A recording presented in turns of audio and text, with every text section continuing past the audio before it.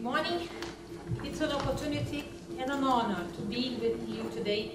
I am Ana Teresa, doctor and mother, and this is my story. My second son was different from the very beginning, a quiet baby. The diagnosis of autism came when he was three years old.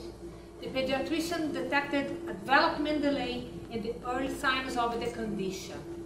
The baby avoided eye contact and any physical touch. He displayed the telltale hand movements, named flapping, and he couldn't speak. Words. I needed words. I needed him to speak, if only for the fact that speaking would allow him to join a regular school and not be sent to a special institution. But how can you prompt an autistic boy to start talking? Hard work, outstanding and painstaking work, day in, day out, and a great deal of patience and luck. Words. I needed words. Words made into protective laws over the disabled, enforcing schools not only to structure inclusive settings, but also to adapt teaching strategies. Words. I needed words made into scientific research on the causes of autism and maybe to provide a breakthrough in the quest for a cure.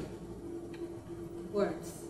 I needed words made into prayer, the last resort to change my state of bewilderment, my utter despair, into a clearer mind. And it suddenly dawned on me, words are not enough. They are unworthy and empty when never used without compassion. My acts should prevail over words. My career ambitions vanished, that is to say, since my son's future was at stake, my professional realizations didn't matter anyway.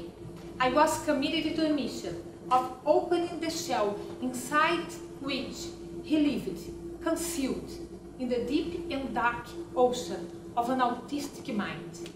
How could any word convey such love? Many other people got into act wholeheartedly to help us face this tough challenge. Physiotherapists, psychologists, lawyers, doctors, teachers. They guided us towards the correct path, even though it seemed too foggy to see the ground. My autistic baby is a ground man now, a college student. He loves mathematics and statistics. He can speak in Portuguese, Italian, and English, but he still prefers to stay quiet. He is a man of few words. Thank you.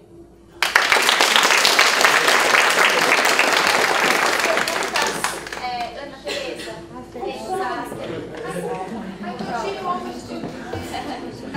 I'm really very nervous.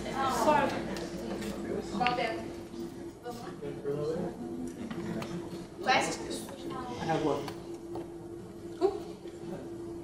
Uh, you, you mentioned uh, that there, there's a need to have different teaching strategies to deal with autistic. Which ones uh, would you uh, say are more important? uh, assessment.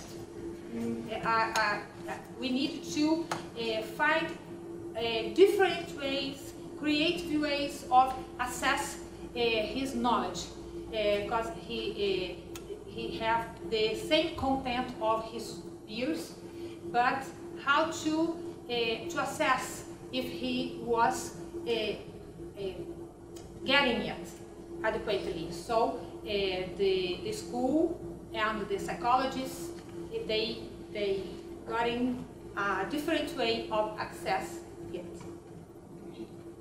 Another question?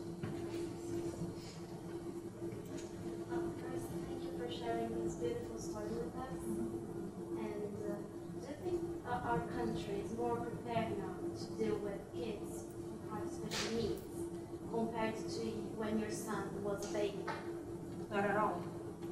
Uh, uh, schools are very dismissive about uh, uh, children with uh, disabilities.